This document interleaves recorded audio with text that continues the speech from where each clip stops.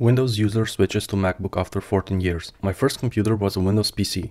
I think it was around the age of 13 and after a few years I purchased a Windows laptop and later another laptop with the same OS. I used Windows XP, Windows 7 and Windows 10 Pro. This is not a video to bash Windows. I am grateful for Windows and Asus for being at lower price to be able to use them and grow as a web developer. I still own a Windows laptop just in case I need it for programming. I'll share the things that I liked when I switched to MacBook and noticed during the 3 years of using two MacBooks. I bought my first MacBook in the late 2020 after I saw great reviews about the newly launched MacBook 13 Pro M1 Apple Silicon, the build quality. I loved how it looked and felt.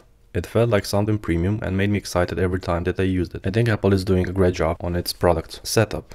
It was very easy to start with it because the operating system is already installed and you need to go through some simple steps. It took me some days to get used to the shortcuts on macOS, but after you get used everything is much more simpler. And I love the screen recording functionality and also the free app iMovie. At the moment I use iMovie, but I plan in the future to use Final Cut Pro. Functionality. I was really impressed the tasks on it worked instantly and didn't get blocked. I don't remember the last time something was blocked or an error was shown. It is like something too good to be true, but it is true. Connectivity. It was great that it syncs with my photos from my iPhone through iCloud. You can share Wi-Fi passwords, get and send SMS messages, and make calls from your MacBook through your iPhone. Two years later I saw great reviews about the MacBook Pro 16-inch with M1 Max and I bought it mainly because the large screen, which was great for programming. Then I found out that you can move your mouse from one to another. So you just move your mouse to the edge and it moves to the other device and you interact like you are on it. Screen. It was the first time I had a 4K screen screen and it was amazing. I could see all the small details. The colors were incredible and the brightness was great. Keyboard. I love lights on a keyboard and this was my first laptop with them. It's great during the night and the quality of the keyboard is great. I also like the touch bar on the 13 inch one. I know some don't like it, but I do. Maybe because I have two MacBooks and I can switch from one to another. So on one of them I have the function keys and on the other one I have the touch bar. Touchpad. I no longer use a mouse because the touchpad is so good and well built. I didn't expect it to work so well. And it is great when you travel you don't need to bring your mouse with because the touchpad handles it great. Start time. You don't need to turn it off through the power settings. You just close the lid. When you open it starts instantly. This is such a great feature. I think this feature was added when the M1 was released in the new operating system at that time. And the last point, fan noise. On the M1 and later versions of MacBooks, the fan rarely starts, only on highly intensity tasks